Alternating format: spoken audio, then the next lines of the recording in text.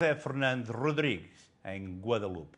E de Guadalupe vamos até ao Brasil, onde no Rio de Janeiro se situa agora o atual foco da variante Delta do novo coronavírus no país. Em segundo lugar está a cidade de São Paulo. Amadeu Maia dá-nos mais pormenores. Olá, Rick. O Rio de Janeiro é o atual foco da variante Delta, com 206 casos confirmados no Brasil. O que o, esse número equivale a 36% dos casos confirmados no país. Segundo o Ministério da Saúde, 570 pessoas já foram notificadas com a variante Delta após testes de comparação de genética e 36 pessoas morreram dessa variante registradas pela primeira vez na Índia. E, segundo especialistas, é a mais contagiosa variante do Covid-19 nesse momento.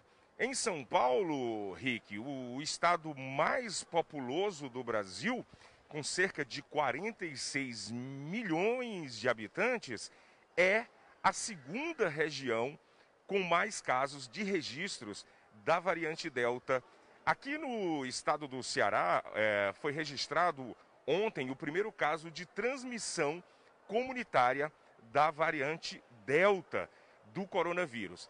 E esse registro foi feito na cidade de Icó, interior do estado, e o caso foi confirmado pela Secretaria de Saúde do estado do Ceará, a CESA, e diagnosticado em um profissional de saúde é, que não teve nenhum contato com alguém que, que estivesse viajando. O município fica a 360 quilômetros de Fortaleza e ele afirmou que não viajou recentemente para fora do Ceará e nem teve contato com pessoas que estiveram viajando também para fora do Ceará. Eu concordo com o nosso governador, né? não custa nada as pessoas fazerem o teste antes de viajar, se organizar, se vacinar porque tanto é bom para eles como para a população de Fortaleza. E com isso o seu trabalho também fica um trabalho mais seguro. E exatamente. O nosso trabalho diretamente com o passageiro, com o turista, tá entendendo?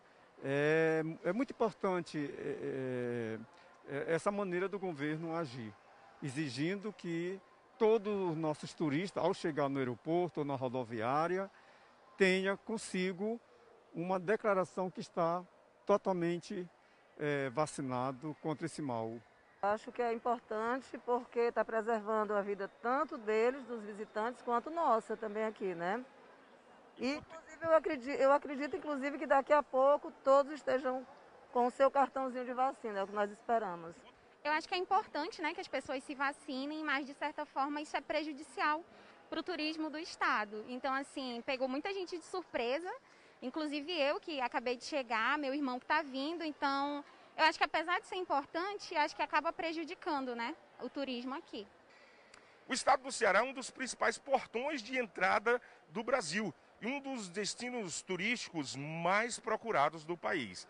Com isso, a Secretaria de Saúde do, do estado do Ceará, a CESA, confirmou 15 casos da variante Delta, todos de passageiros vindos de outros estados do Brasil por via aérea. 20% dos passageiros que desembarcam aqui nesse aeroporto, nesse aeroporto, Aeroporto Internacional de Fortaleza, é, são convidados aleatoriamente a fazer um exame de testes rápidos de antígeno com casos positivos sendo ratificados por exames de RT-PCR junto ao Laboratório Central da Saúde Pública do Estado do Ceará.